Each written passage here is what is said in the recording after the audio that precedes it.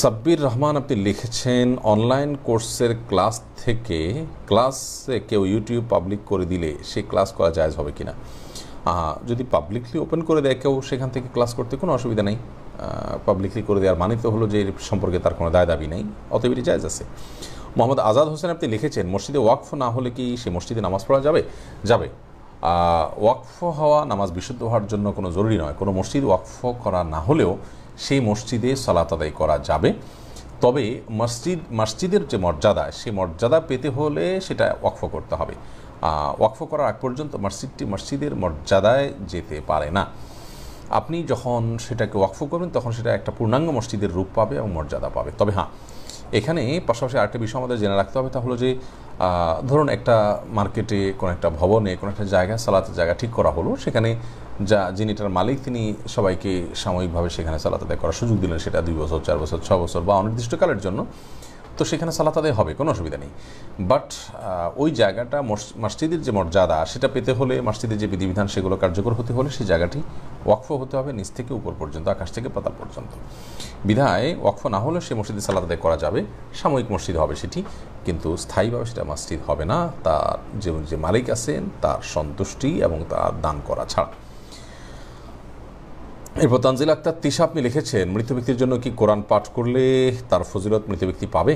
মৃত ব্যক্তির জন্য যদি আপনি কোরআন তেলাওয়াত করেন, তাহলে সেক্ষেত্রে তেলাওয়াত করে যদি তার সবটা তার পক্ষ থেকে আপনি তার জন্য প্রেরণ করতে চান, সেটি তার জন্য প্রেরিত হবে কি না এটা নিয়ে ফোকা একরামের মধ্যে স্কলারদের মধ্যে মত পার্থক্য আছে। অনেকগুলো একরাম বলেছেন হবে না, তবে অনেকগুলো একরামই বিভিন্ন আসার থেকে রেওয়ায়াত থেকে সাবিত করেছেন যে কোরআন তেলাওয়াত এটি মৃত ব্যক্তির তরফ থেকে করা যেতে পারে। অর্থাৎ আপনি জীবিত মানুষ, কোরআন তেলাওয়াত করে বললেন, আল্লাহ, এই তেলাওয়াতের যে সব হয়, সেটা আমার অমুক মৃত ব্যক্তির জন্য আমি দিলাম। এটা আপনি তার আমল আমাদের যুক্ত করে দিন। অতএব এভাবে মৃত ব্যক্তির জন্য কোরআন তেলাওয়াতের সব পাঠানো যেতে পারে একবার মতে। এরপরে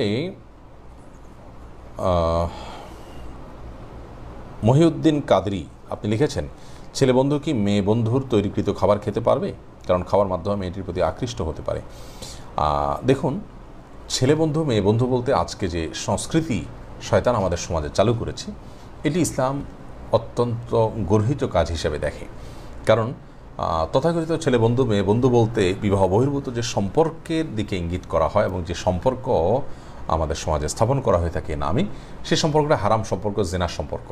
এই রিলেশনগুলো মানুষকে সাময়িক তৃপ্তি বা সুখ দিতে পারে, কিন্তু একটা সমাজ, একটা পরিবেশের জন্য মানব সভ্যতার জন্য এটা কখনো কখনো ভালো কিছু বয়ে আনে না।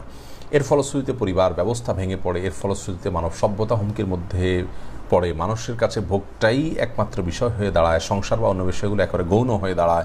এবং এর ফলশ্রুতিতে মেয়েরাই সবচেয়ে বেশি ক্ষতিগ্রস্ত হয়, লুজার হয়।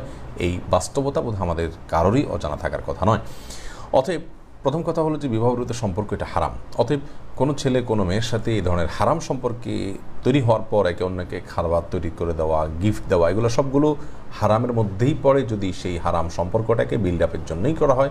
সচরাচর সেটাই হয়ে থাকে। কারণ হলো, তথাকথিত ছেলে বন্ধুকে মেয়ে বন্ধু রান্না করে খাওয়ানো মানে হলো তাদের মধ্যে সম্পর্ক বিল্ড আপ করা। মেয়ে বন্ধুকে ছেলে বন্ধু কোনো কিছু গিফট করা মানে হলো তাদের সে হারাম সম্পর্ককে বিল্ড আপ করা।